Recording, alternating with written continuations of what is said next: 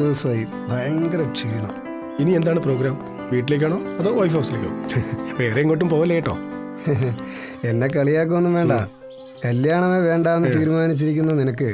കല്യാണം കഴിച്ചവരുടെ ബുദ്ധിമുട്ട് മനസ്സിലാവില്ല. അതറിയണമെങ്കിൽ നീ നിന്റെ തീരുമാനത്തിൽ മാറ്റം വരുത്തണം. കല്യാണം കഴിച്ചുകൊണ്ടുള്ള സുഖവും ദുഃഖവും ഒക്കെ എനിക്കറിയാം. ഞാൻ എന്റെ ഉറച്ച തീരുമാനത്തിൽ എനിക്കിനി ഒരു വിവാഹമേ വേണ്ട. നോ നെവർ അത്രയ്ക്ക് ഇഷ്ടമായിരുന്നു രാഖിയെ അവളുടെ മാരേജ് കഴിഞ്ഞില്ലേ? ഇനിയിപ്പോ എന്താ ചെയ്യാൻ കഴിയുക അല്പം പർച്ചേസ് ഉണ്ട്. വരുന്നോ ടൗണിലേക്ക്? ഇപ്പൊ വരുന്നില്ല. ഫുഡ് കഴിക്കാൻ നൈറ്റ് വരുന്നുണ്ട്. അപ്പൊ മണ്ടേ കാണാം. ഏ?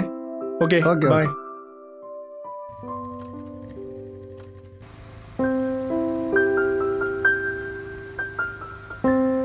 അത്രയ്ക്ക് ഇഷ്ടമായിരുന്നു രാഖിയെ ഇഷ്ടമായിരുന്നെന്നോ? സ്കൂളിൽ ഒരുമിച്ച് ഒരു ക്ലാസ്സിൽ പഠിക്കുമ്പോൾ മനസ്സിൽ പ്രണയം കടന്നു വന്നപ്പോൾ ആദ്യം നെഞ്ചിലേറ്റിയത് അവളെയായിരുന്നു.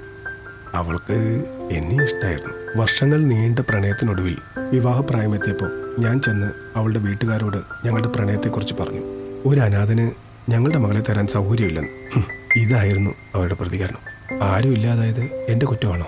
ഒടുവിൽ ഒരു അമേരിക്കക്കാരൻ മലയാളിയെ കണ്ടപ്പോൾ അവൾ അങ്ങ് പോയി. എന്റെ മനസ്സും മടുത്തു.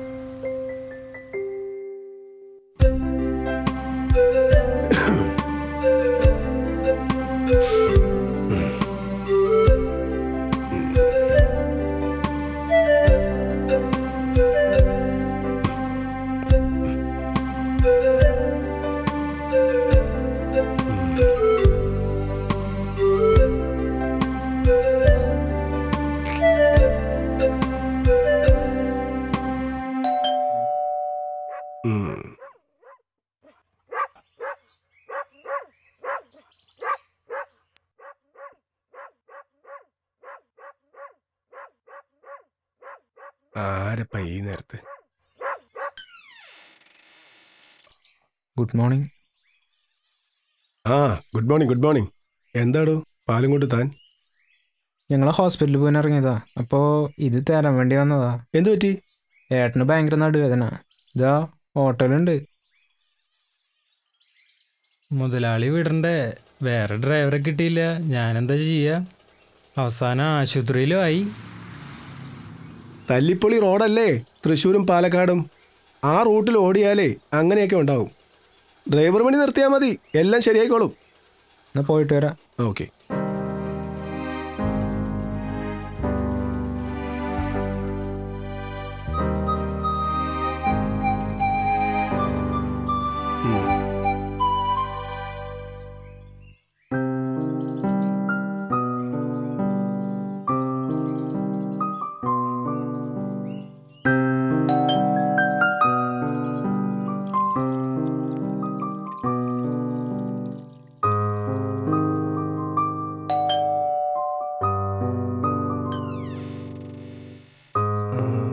എന്താ?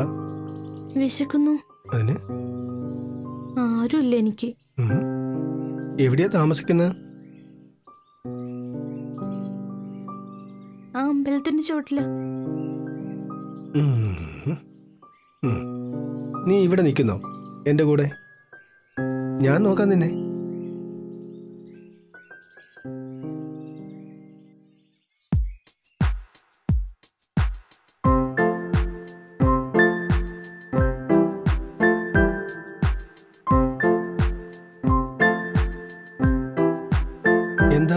വായിക്കണോ? വായിക്കാൻ അറിയില്ല ഞാൻ പഠിപ്പിച്ചു തരാം.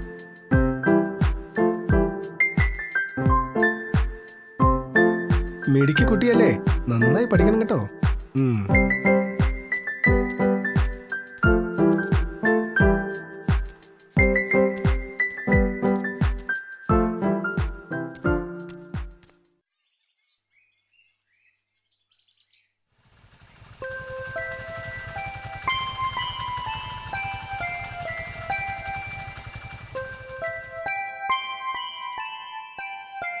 മോൾക്കൊരു സർപ്രൈസ് ഉണ്ട്. എന്താ അനിയേട്ടാ? ആ കണ്ണടച്ച് പിടിച്ചേ. കൈ ഇങ്ങ് നീട്ടിയേ എന്താ ഇത് മോൾ പോയി ഇട്ടിട്ട്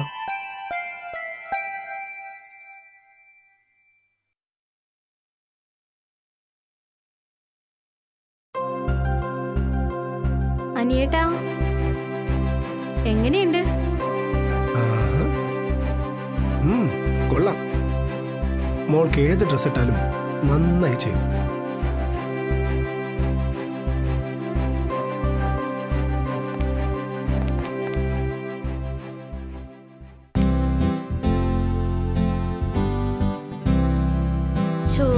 അനിയേട്ട കഴിഞ്ഞില്ലേ? നമ്മൾ അവിടെ എത്തുമ്പോഴേക്കും മുഹൂർത്തം കഴിയും. ഇനിയിപ്പോ ടൗണിൽ പോയി ഗിഫ്റ്റ് മേടിക്കണം. ഓ എടി. ഓ പെണ്ണുങ്ങൾ പോലും ഇത്ര സമയം എടുക്കില്ലല്ലോ. ഓ പിന്നെ?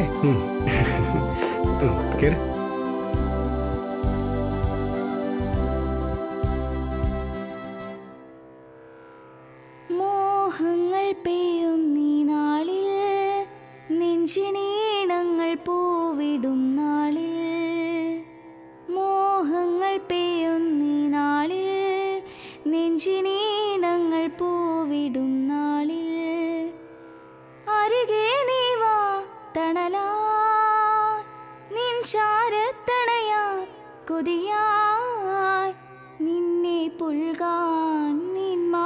ചായാൻ കൊതിയാ. നിന്നെ പുൽകാൻ നിന്മാറിൽ ചായ കൊതിയാ. അരികെ നീവാ തണലാ. നിൻ ചാരത്തണയാ കൊതിയായി. നിന്നെ പുൽകാൻ നിന്മാറിൽ മാറിൽ കൊതിയാ. നിന്നെ പുൽകാൻ നിൻ മാറിൽ ചായാൻ കൊതിയാ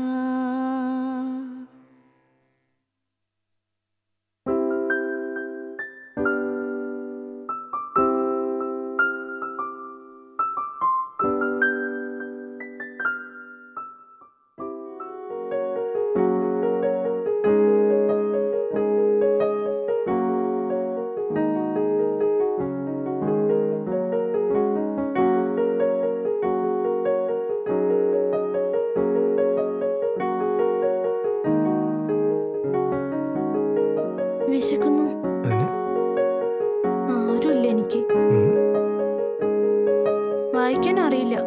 ഞാൻ പഠിപ്പിച്ചു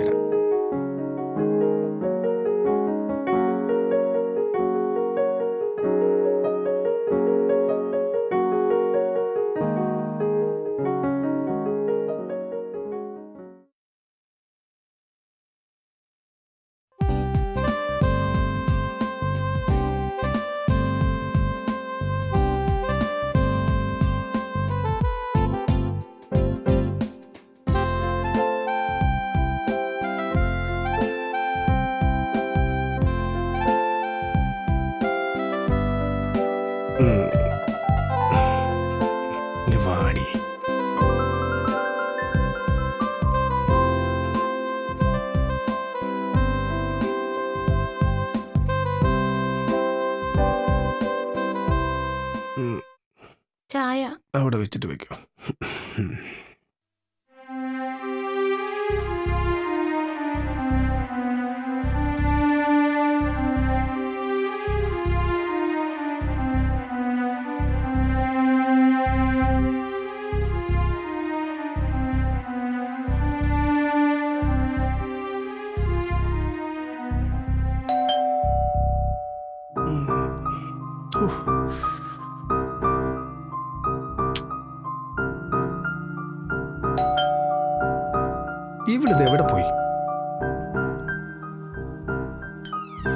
ഇന്ദു? ഇന്ദു? എവിടെ ഇരിക്കുക നീ എന്താ ചെയ്യുന്നത് ഇന്ദു? നീ എന്തെടുക്കുക വിളി കേട്ടൂടെ നിനക്ക്? ഇന്ദു? ആ ഇവിടെ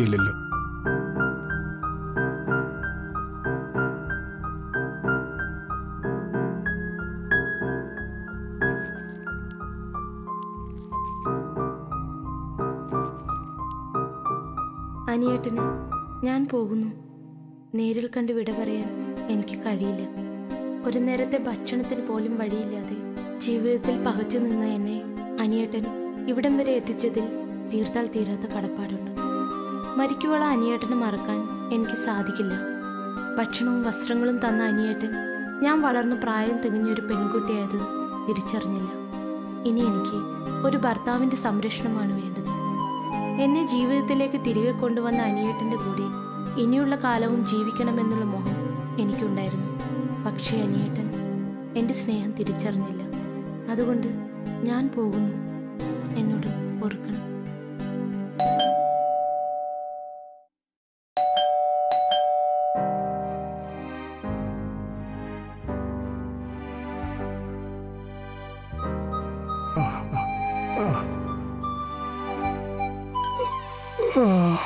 ആ നമസ്കാരം. ആരൊക്കെയാണ് വാ കേറി വാ.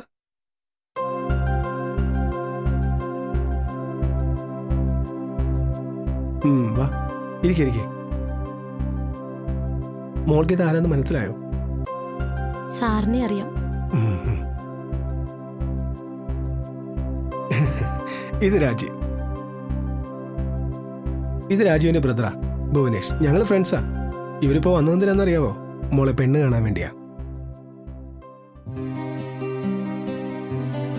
ഇന്ദുവിനെ കുറിച്ച് അനിരുദ്ധ് എപ്പോഴും ഞങ്ങളോട് പറയാറുണ്ട്. ദൂരെ എങ്ങും ഇന്ദുവിനെ കല്യാണം കഴിച്ചയക്കാൻ അനിരുദ്ധിന് മനസ്സ് വന്നില്ല. ഒരു പെൺകുട്ടി സ്വന്തം വീട്ടിൽ പോലും സുരക്ഷിതമല്ലാതായിക്കൊണ്ടിരിക്കുന്ന ഈ കാലത്ത് ജീവിതത്തിന്റെ പാതി വഴിയിൽ കണ്ടുമുട്ടിയ ഒരു കൊച്ചു പെൺകുട്ടിയെ വളർത്തി വലുതാക്കി കല്യാണം കഴിച്ചയക്കാൻ